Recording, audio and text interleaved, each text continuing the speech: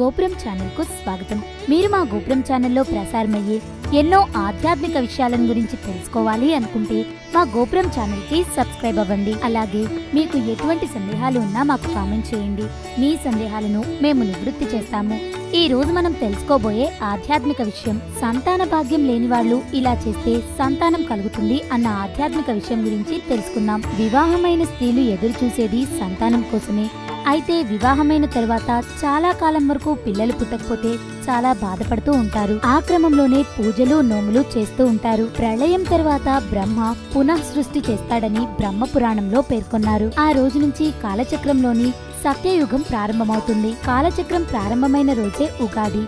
పవిత్రమైన ఉగాది రోజు ఏదైనా మంచి పని ఆరంభిస్తే ఆశించిన ఫలితం వస్తుందని పురాణాల్లోనూ చరిత్రల్లోనూ కొన్ని సంఘటనలు ఉదాహరణగా ఉన్నాయి. ఉగాది రోజు ప్రత్యేకంగా బ్రహ్మను పూజిస్తారు. ఆయన కోసం ప్రత్యేకంగా తయారు చేసిన బ్రహ్మ ధ్వజాన్ని ఎగరవేస్తారు. మరాఠీలు జరుపుకునే గుడి పాడ్వాకు అర్థం ఇదే. గుడి అంటే పతాకం.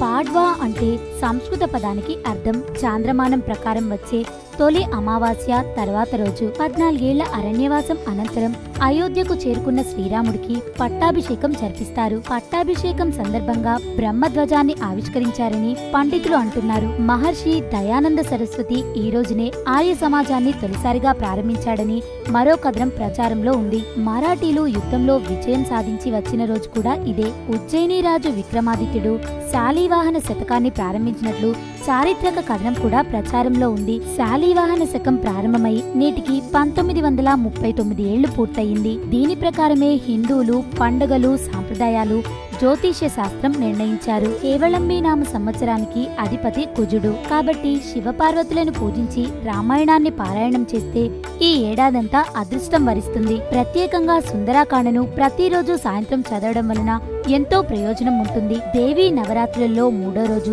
తేనె దానం చేస్తే పూర్వీకుల ఆత్మశాంతి. ఆరో రోజున సంతానం లేని దంపతులు చెరుకు రసాన్ని దానం చేస్తే సంతాన భాగ్యం తప్పకుండా కలుగుతుందని పండితులు చెప్తున్నారు. సర్వేజన సుఖినో భవంతు సమస్త సన్మంగళాని భవంతు లోకా సమస్త సుఖినో భవంతు.